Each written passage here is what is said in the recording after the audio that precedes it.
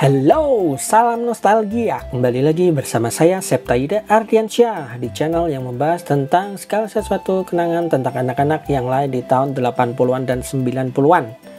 Nah, di video kali ini kita akan membahas album stiker ya. Kalau di video sebelumnya kita membahas Panini stiker tentang Power Rangers. Nah, di video kali ini kita akan bahas tentang album stiker yang bertemakan Kesatria Baja Hitam, teman-teman. Kesatria Baja Hitam atau Kamen Rider ya, Black RX. Nah, di Baja Hitam ini sudah terkenal di kurang lebih di tahun 9394, teman-teman. Dan puncak-puncaknya adalah di tahun 94 dan 95. Nah, di tahun 95 ini uh, referensi yang kita gunakan adalah majalah Bobo. Bulan Maret. Nah ini bulan Maret ya. Bulan Maret 95 kemudian di dalam promosinya ini ada dapatkan dan lengkapi koleksi album stiker.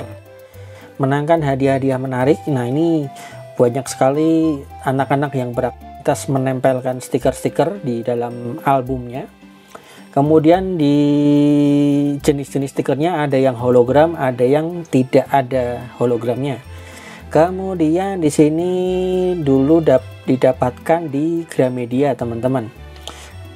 Ini ya di Gramedia. Kemudian untuk publishernya sendiri ini adalah Komiku. Ini film and merchandising. Ya bentuknya seperti ini ya, ada saset-saset seperti ini dan ini adalah albumnya ini kebetulan kita punya dua album yang satu sudah ada isinya satu juga belum ada isinya. Cuman random sekali teman-teman. Nah untuk stikernya seperti ini jadi di bagian belakang itu akan ada angka-angka ya. Ini mirip seperti pan ini stiker pan ini ada angka-angkanya 34 18 54 dan 99 dan nanti kita akan menempelkan di dalam albumnya. Ini di bagian depan ada album stiker Kesatria Baja Hitam kemudian tahun 94 ya copyrightnya. Kemudian ini ada Black RX nya ada Shadow Moon ada Bio dan ada Robo. Nah di bagian depan ini ada sponsornya ya. Ini dari apa nih ya? Arbis. Ini burger ya. Cuman mungkin sekarang sudah nggak ada ya nih ya. Macam Wendy's gitu ya kemudian ini caranya mudah tempelkan stiker. Baja hitam RX sesuai dengan nomor di balik setiap stiker. Kemudian eh, harga stikernya adalah 600 per pack teman-teman. Kemudian satu pack berisi 5 stiker. Nomornya adalah nomor 1 sampai dengan 150 kemudian terdapat stiker hologram. Ini ada Kotaro Kesatria Baja Hitam RX Satya Bajatam RX, Robo, RX Bio dan lain-lain. Ini kita disuruh melengkapi ya.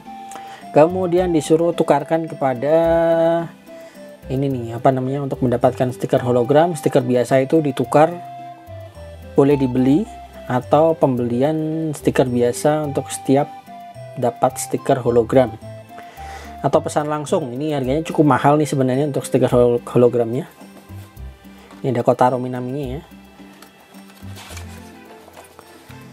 ini di halaman depan ini pangeran bayangan atau shadow moon. Ini ada cerita-ceritanya jadi uh, kita itu menempelkan sesuai dengan cerita-ceritanya ya. Jadi seakan film itu dimasukkan ke dalam sebuah album cerita stiker seperti ini. Ini ada ceritanya ya sudah saya tunggu-tunggu kota Raminami. Saya dikirim krisis saya as Antoron ini ada cerita-ceritanya hiat gitu-gitu ya. Oke ini sebagai contoh ini tadi nomor 7 nih. Berapa tadi ya? Nah ini 7 nih. Nomor 7 di sepeda motor Kotaro dan Joe membicarakannya benar-benar jahanam orang krisis tak henti-hentinya mengacau kita harus cepat. Nah ini tempelkan di sini ya. Ini dia stiker hologramnya teman-teman. Nah ini keren sekali ya ini adalah stiker hologramnya Kotaro. Kemudian berubah ini majalah Bobo sponsornya lagi media partner. Berikutnya ini ini ditayangkan di RCTI ini media partnernya dari RCTI ini masih banyak yang kosong kita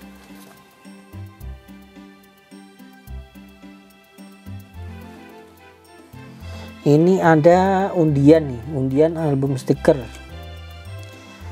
Lampirkan fotokopi kakak dan kartu pelajar. Ini ada pertanyaan-pertanyaan yang harus kita jawab ya.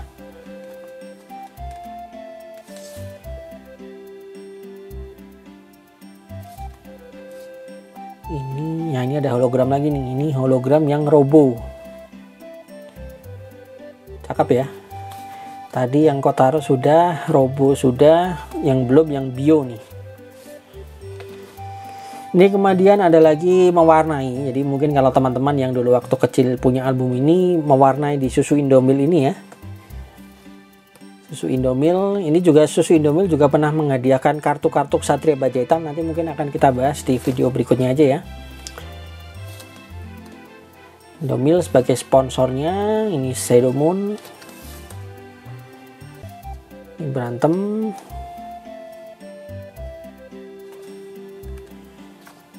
Kemudian ini adalah merchandise-nya teman-teman. Merchandise resminya. Ini ada lunchbox. Kemudian ini ada apa nih spray kalender wah ini sangat keren sekali. Kemudian ini ada tas-tasnya. Dari export ya. Ini merek export. Kemudian sandal ada lampu sepatu. Wah ini dulu mahal sekali nih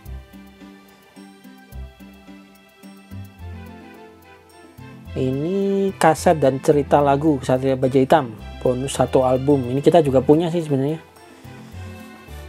Ini kemudian apa lagi nih?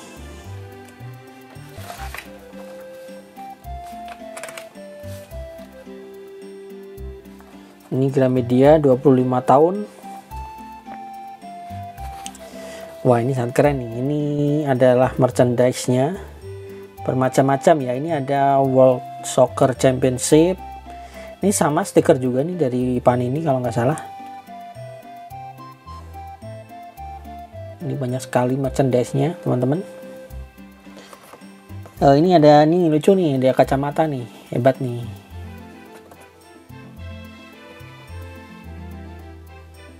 Ini dari Komiko Merchandising. Kemudian ini ada susu Profikit nah ini ada master topeng yang sering kita tahu dulu di iklan-iklannya teman-teman. Mahal sih ini dulu harganya dari apa susunya. Ini adalah halaman belakangnya teman-teman. Ini stiker-stikernya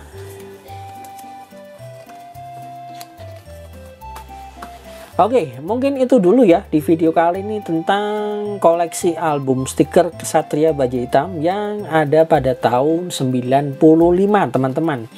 Nah, apakah kalian pernah memiliki atau teman-teman kalian dulu punya album stiker stiker seperti ini? Silahkan tuliskan komentar kalian di bawah ya.